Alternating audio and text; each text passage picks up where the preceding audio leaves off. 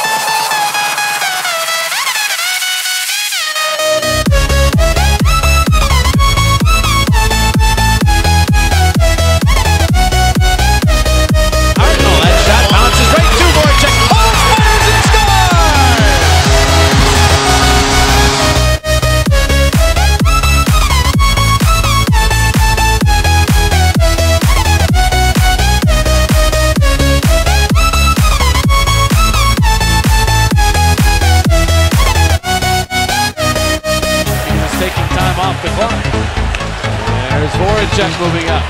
Oren Jack got the shot and he scores!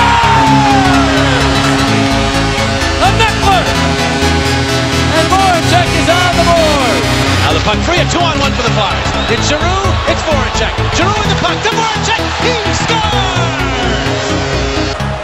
Now Voracek getting it back to Coburn, across from Timonen. Timonen in the middle. Giroux across the jet, they score! Voracek!